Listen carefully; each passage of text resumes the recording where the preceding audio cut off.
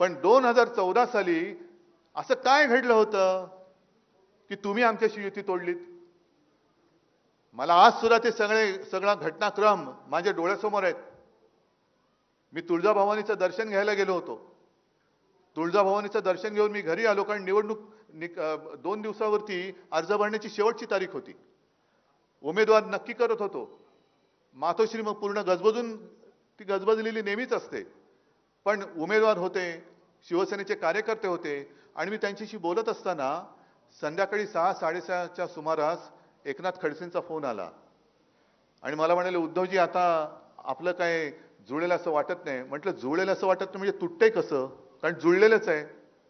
तर नाही आमच्या लोकांची अशी इच्छा आहे की याच्यापुढे आपलं शिवसेने आपण शिवसेनेबरोबर राहू नये. म्हटलं अहो जे काय थोडंसं राहिले ते आपण संपून टाकू आज रात्रभर बसू उद्या दिवसभर बसू परवा दुपारपर्यंत वेळ आहे. नाही नाही म्हणे आता नको आता आम- आम्ही ठरवलेलं आहे. मग तेव्हा युती का तोडलीत? तेव्हा मी काँग्रेस बरोबर गेलो नव्हतो ना? मी तिथेच होतो आजही तिथेच आहे. गेलात तुम्ही वार करणारे तुमची अवलाद आहे आमची नाहीये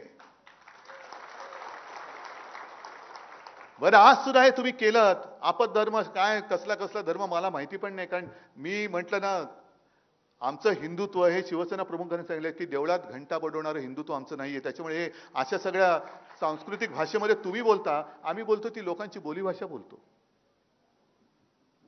त्याही वेळेला आम्ही हिंदू होतो पण पहिली हिंदुत्वाच्या पायावरती कुऱ्हाड ही दोन हजार चौदा साली